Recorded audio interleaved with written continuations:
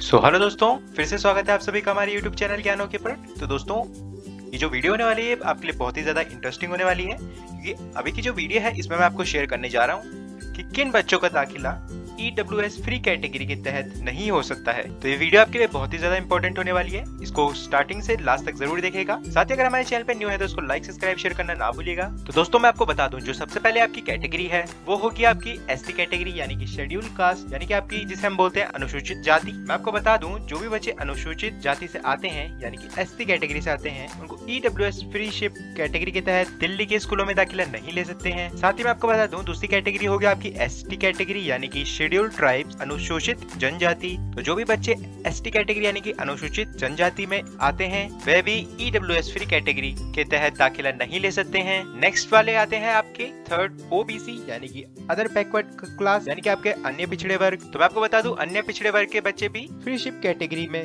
Category के तहत दाखिला नहीं ले सकते हैं। अगली कैटेगरी होगी आपकी ऑर्फन चिल्ड्रन यानी कि आपके जो होते हैं अनाथ बच्चे, जिनके माता पिता भी इस दुनिया में नहीं रहे हैं। वह बच्चे भी E W S freeship category के तहत दिल्ली के स्कूलों में एडमिशन नहीं ले सकते हैं।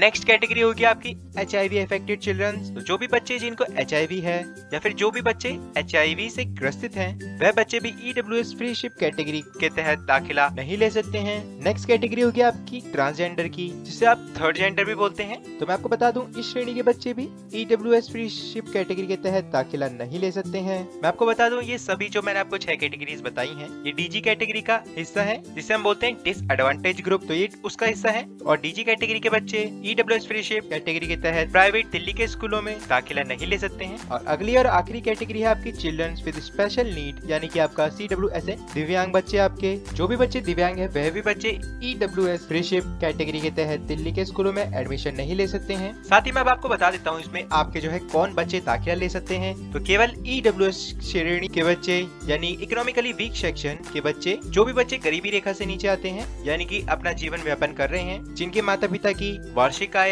एक लाख रुपए से कम है, वह बच्चे E W S freeship category के तहत दिल्ली के स्कूलों में दाखिला ले सकते हैं।